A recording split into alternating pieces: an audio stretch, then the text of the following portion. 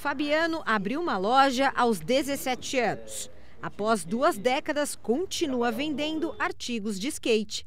Manter o comércio durante a pandemia foi um imenso desafio. Só ficou eu e minha esposa, a gente trabalhando todo dia, atendendo, fazendo pacote no, no nosso e-commerce.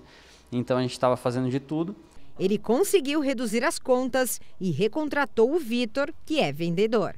E agora a gente está sentindo uma melhora de novo, né? Agora a gente está percebendo que o movimento tem melhorado, as coisas têm melhorado.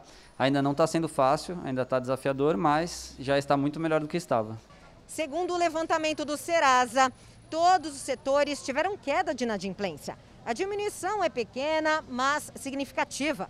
Destaque para o comércio, que representa 40,8% do total de micro e pequenas empresas inadimplentes. Em maio, o segmento teve baixa de 0,5% em relação ao mês anterior, enquanto os serviços tiveram diminuição de 0,3% e a indústria redução de 0,4%. Desde janeiro, a inadimplência das empresas, das micro e pequenas empresas só aumentava é, principalmente por causa da segunda onda da pandemia, né, que começou ali no, é, no início do ano e acabou é, a maioria dos governos acabaram decretando novos lockdowns, né, com, fechamentos, paralisações das, atividades produtivas.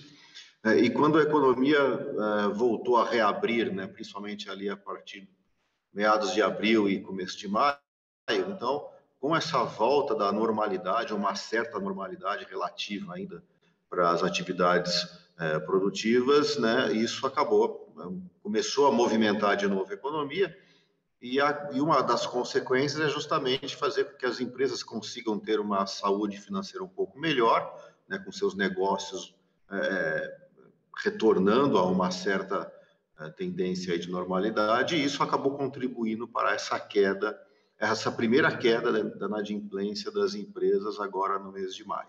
O economista destaca que mais de 5 milhões de micro e pequenos empreendedores ainda estão no vermelho, mas acredita que a queda de inadimplência deve continuar. Se o governo não atrapalhar essa retomada né, da, da, economia, né, é, com essa tendência de termos é, cada vez mais as atividades voltando à sua plena, ao seu pleno funcionamento, isso já ajudaria bastante né, essa tendência aí de queda da inadimplência. Então, a grande, digamos, a grande medida econômica que o governo pode fazer é avançar na questão sanitária, justamente avançar de forma consistente é, na, na, evolução da vacinação em massa da, da população, que é justamente é, é, com as pessoas conseguindo voltar a trabalhar é, de uma forma é, sem interrupções, né, sem paralisações, é justamente isso que vai fazer com que uh, as empresas possam também desenvolver as suas atividades produtivas e, com isso, gerar emprego, renda, voltar a economia a crescer de forma consistente e, obviamente, a redução da inadimplência vai ser uma consequência direta disso.